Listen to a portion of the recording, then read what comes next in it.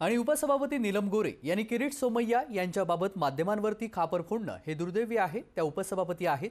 महिला केंद्र चालवतात. त्यामुळे त्यांना महिलांबाबत जाण असणं गरजेचं आहे. त्यांनी असं वक्तव्य करणं चुकीचं असून माध्यमांवरती दबाव टाकण्याचा प्रयत्न आहे अशी प्रतिक्रिया सुषमा अंधारी यांनी दिलेली आहे. पाहूयात नीलमताई जेव्हा असं म्हणताहेत की त्या चॅनलची सुद्धा चौकशी झाली पाहिजे.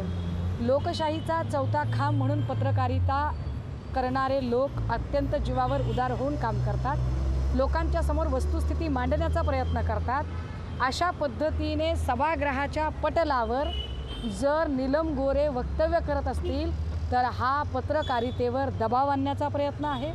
पत्रकारांवर दडपण आणण्याचा प्रयत्न आहे. आणि माध्यमांना म्हणजे एकीकडे माध्यमांना जे गोदी मीडिया म्हणण्याचा प्रयत्न केला जातो त्यातनं काही माध्यमं इमेज तोडून अत्यंत धाडसाने अत्यंत कष्टाने काही सत्य उकरून काढतात आणि ते लोकांसमोर ठेवतात. अशा काळात जर निलम गोरे माध्यमांवर खापर फोडत असतील तर निश्चितपणे हे वाईट आहे.